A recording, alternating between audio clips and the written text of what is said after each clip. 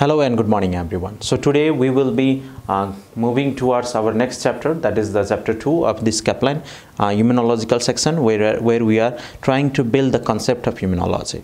So initially we have discussed about this immunological that uh, first chapter where we have discussed about this innate immunity, adaptive immunity, how this physiological and anatomical barrier is bridged, then the immune system like granulocyte and uh, phagocytic cells come into the action. If reached to the blood, then complement pathway activate and then try to kill, eliminate the organism from your body by innate immune response itself. If they are not able to handle then they will release the signals the cytokines and goes and activate this T lymphocyte. This T lymphocyte will release the cytokines. They will activate the B lymphocyte and form the convert into the plasma cell form antibody and this antibody again help so again there is a classical complement pathway activated also in, in increase the killing of the pathogen by opsonization.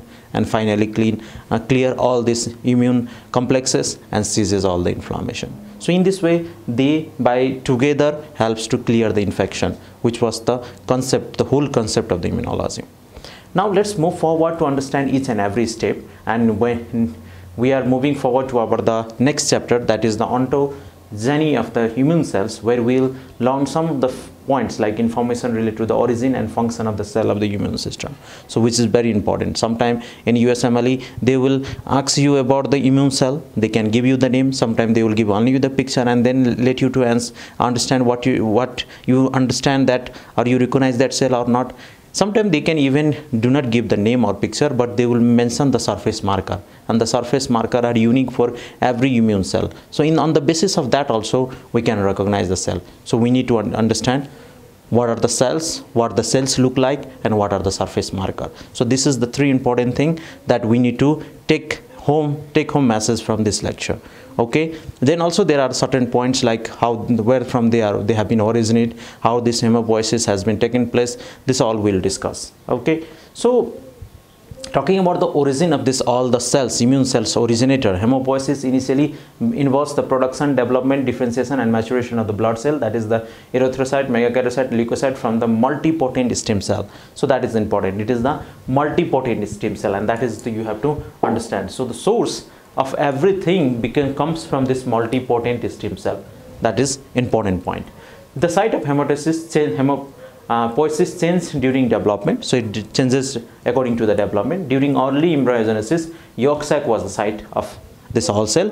Then it shifts to the liver and spleen. So you can see this they can shift to the liver and spleen. And finally, they can shift to the bone marrow. So this distal long bones so there are the you have to understand during embryogenesis fetal development the yolk sac is the site of the hemopoiesis then they goes to the then organogenesis begin and after organogenesis hematopoiesis shift to the liver and spleen. So liver and spleen is the target when the organogenesis occur. This is also a, now in the fetus life.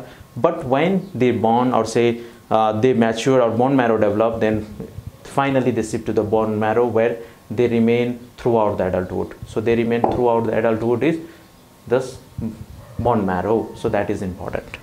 Okay. So again i'll repeat. The yolk sac is the first initial development of this hematopoietic cell. Then they shift to the liver and spleen and final to the long distal bones. So if you're talking about adult UNB then obviously long distal bones are the site where these cells are getting produced. These are the factory house for all of the cell that we are getting produced. So after knowing that we have to come to that multipotent stem cell which we are talking about. This multipotent stem cell cell found in the bone marrow this multipotent stem cell that is found in the bone marrow have the ability to undergo asymmetric division means they can divide into two phase into two uh, two branches so in a two direction in a asymmetrically that is one of the two daughter cell were served to renew the population of the stem cell that is self -renew renewal while other can give rise to a common lymphoid progenitor cell or common myeloid, myeloid progenitor cell. So this uh, lymphoid and myeloid progenitor cell is actually important. So there are population of cell that can also go self renewal while other can give rise to this two type of cell that is pro lymphoid progenitor cell and myeloid, myeloid progenitor cell. So this helps this common lymphoid progenitor cell and common myeloid progenitor cell helps to give they produce the cell like lymphoid this progenitor cell give rise to this B lymphocyte T lymphocyte and natural killer cell.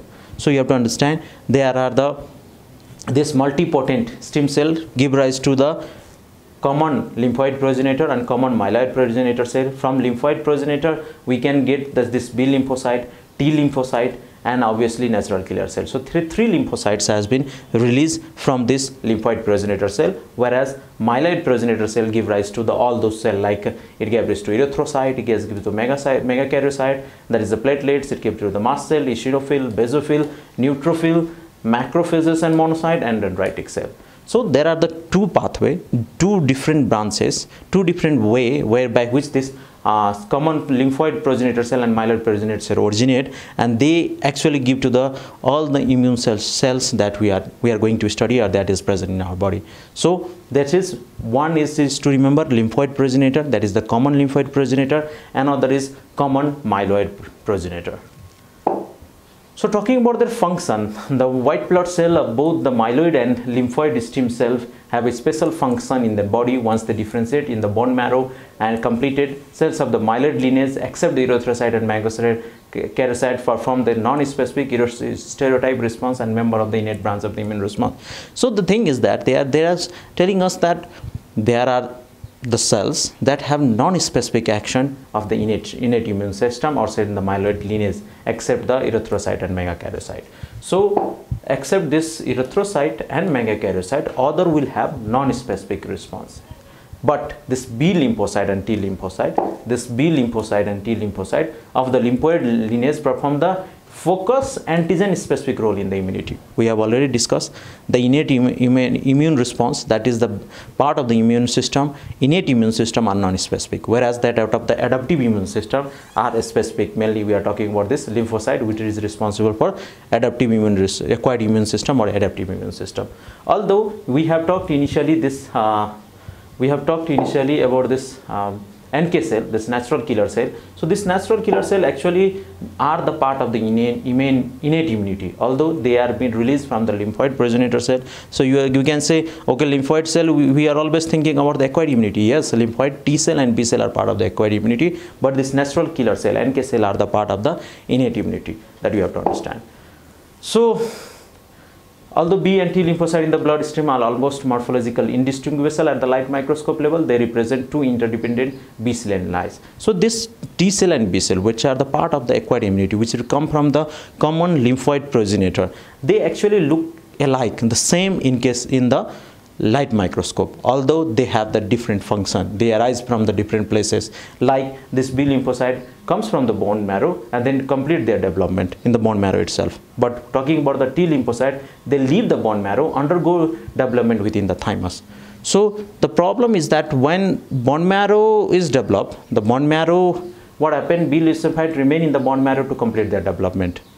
But t lymphocyte first originate from the bone marrow then goes to the thymus and then get converted into the T.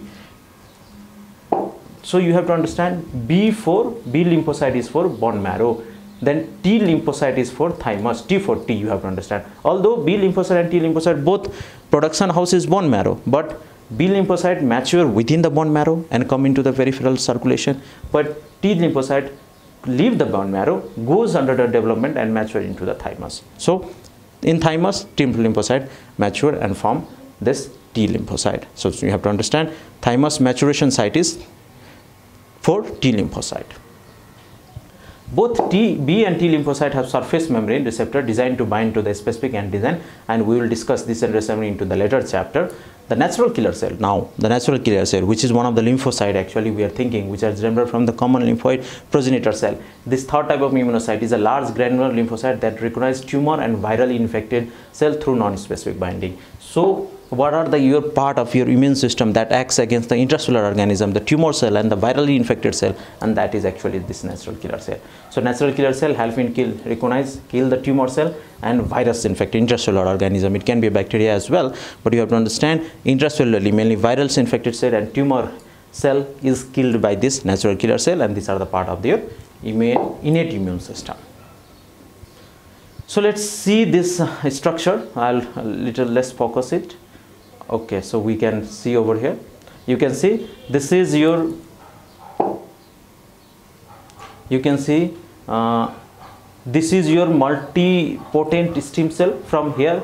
Two direction in two direction one direction and two direction one and two.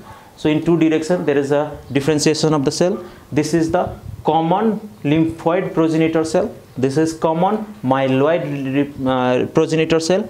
The lymphoid progenitor from here the lymphoid progenitor cell differentiated by this by this cytokine. And this is interleukin 7 if you remember 7 if you write 7 as opposite it become L. So L for lymphoid. This is way to remember only.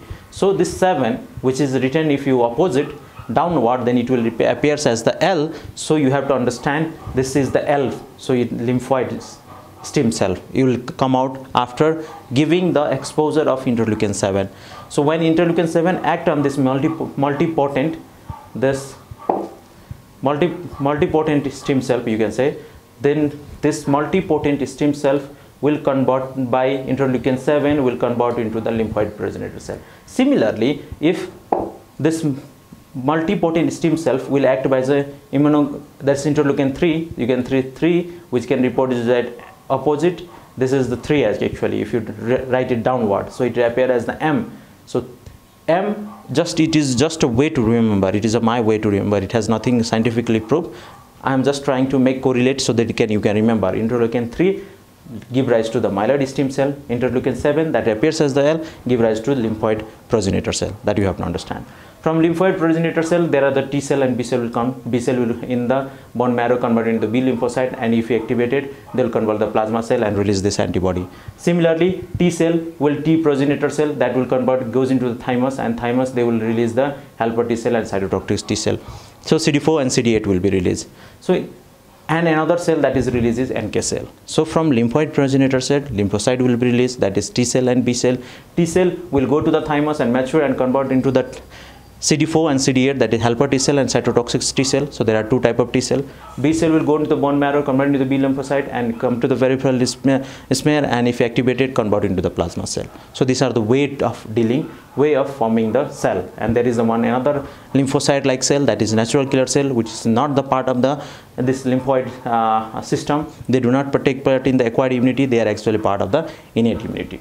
Similarly, there is a multipotent stem cell that converted by the interleukin 3 and also this GMCSF. So that is also important. GMCSF is actually, uh, this is also very much important because this GMCSF is a, one of the thing that helps in the, what, this is the uh, granulocyte monocyte colony stimulating factor. So this helps in the synthesis. When we give a aplasia patient or cancer patient this um, this stimulation will help in the formation of this phagocytic cell this myeloid stem cell and then will, they will lead to the formation of your cell.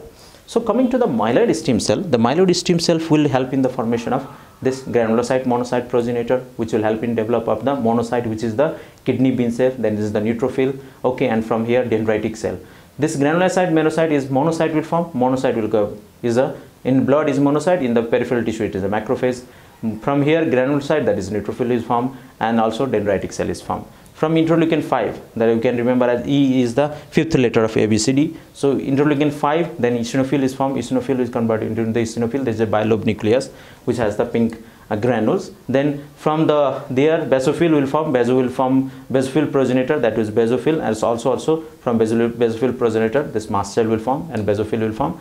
From here the megakaryocyte that it is the uh, will form that will leads to this platelet and there also will help in the formation of this erythroid progenitor that will fall in the erythrocyte or RBC so all this immune cell that you see in a complete blood count that is the a lymphocyte, neutrophil, mac, mac, that's monocyte, eosinophil, basophil. These all are the, you know how they are originating. They are originating from the multipotent stem cell. They have the two branches. One is the common lymphoid stem cell that will help in the formation of this B, T lymphocyte as well as natural killer cell. From here, interleukin 3 will act that appears the M, myeloid stem cell, common myeloid stem cell progenitor. From here, there is the appears the erythroid progenitor that is RBC, megakaryote, thrombopoietin acts on the acts a megakaryocyte that is a platelet. Then basophil progenitor, basophil that is the mast cell, eosinophil progenitor, eosinophil. Then there is a granulocyte monocyte progenitor that help in the formation of this monocyte and neutrophil.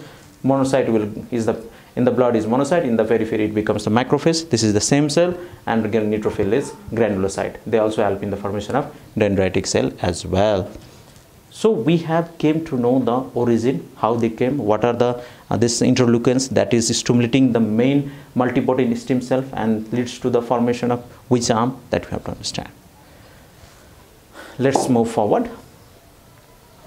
So hope you have understood this uh, all this multipotent stem cell T and B cell and K cell these are from the lymphoid stem cell and myeloid. We have this neutrophil monocyte eosinophil basophil platelets and RBC now let's comes to the some of the features some of their characteristics okay? So white blood cell. White blood cell order is based on the relative percentage as they appear in the blood. So the most abundant is neutrophil. What is neutrophil? Neutrophil come from the your monocyte granulocyte progenitor which has come from the myeloid progenitor. Myeloid progenitor has come from the you can use this uh, where, where this neutrophil has come from? The granulocyte monocyte progenitor. This has come from the myeloid stem cell progenitor. This has come from the multipotent stem cell. So you have to understand all in this way. So this neutrophil which is a multi multi neutrophil or polymorphonuclear cell it is called polymorphonuclear because it has a multiple nucleus. So this is the cell having multiple nucleus most abundant circulating in the blood. Granulocyte with the segment lobular nuclei 3 to 5 lobes will be there. So that is also important.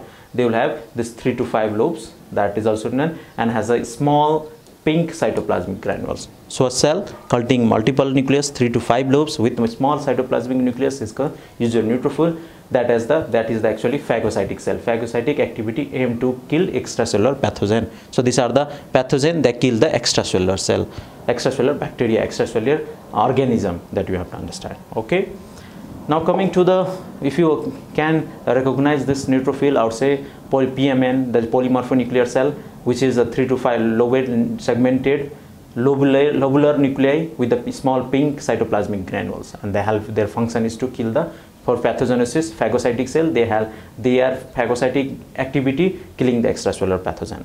Then coming to the lymphocyte. Lymphocyte looks like if you see the cell this is the cell with a big nucleus and a small rim of the cytoplasm. So it is present in the bloodstream secondary lymphoid tissue and secondary lymphoid tissue they are present usually large dark staining nucleus with a thin rim of cytoplasm. So there are big nucleus but thin rim of cytoplasm their surface marker which is actually important now so their surface marker B lymphocyte if you are talking about then there is a CD19 CD20 and CD21 so you have to remember this remember this remember this this is CD19, CD20 and CD21 is the surface marker of your B lymphocyte. If you talk about the T lymphocyte, in the T lymphocyte there is a surface marker called CD3. So both T, we know the T lymphocyte there are two type of T lymphocyte that this T lymphocyte actually has T helper T cell and cytotoxic T cell but this both T cell has this CD3 marker. So this, this is also important.